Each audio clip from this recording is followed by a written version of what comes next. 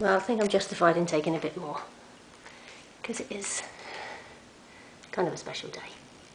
This is them in the kitchen, investigating the leopard print mat.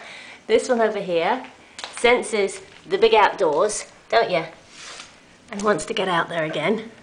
No, no problem. Just an hour or so and then you'll be back out into your own environment again and you'll like that better, won't you? And uh, that one too says, I know, it's warm and sunny out there, let me out. I don't like this air conditioning. And there's the other two. That one's Poppy.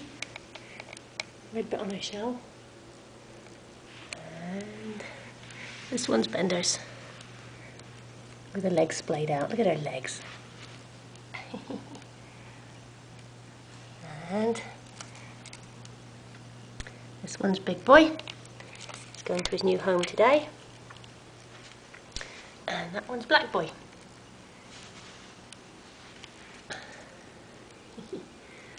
it's been a long time since they've been indoors. I can't believe how much they've grown. They, they measure like five inches now. The last time I measured them they were three. That's just in one season. Wow.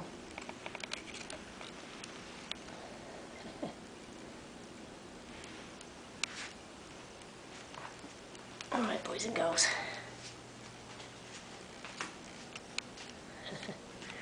A long shot.